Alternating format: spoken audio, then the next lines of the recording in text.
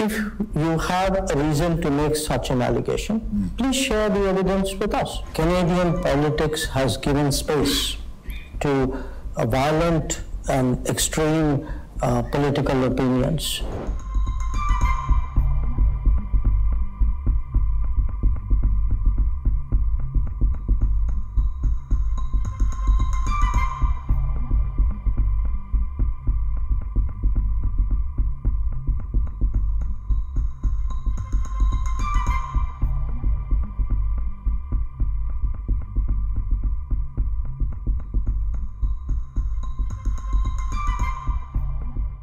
We feel that uh, the Canadian politics has given space to violent and extreme uh, political opinions, uh, which uh, which uh, advocate separatism uh, from India, mm. including through violent means. Mm.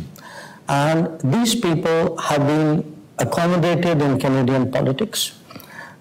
they are given the freedom to uh, to uh, articulate their views. Now, in the case of Mr. Trudeau, uh, we have I, I, I have discussed it also with my own counterpart. I still do, and we have told them, saying, look, if you have a reason to make such an allegation, mm. please share the evidence with us. We, you know, we, we're not, we are not ruling out uh, uh, an investigation and looking at anything which they may have to offer.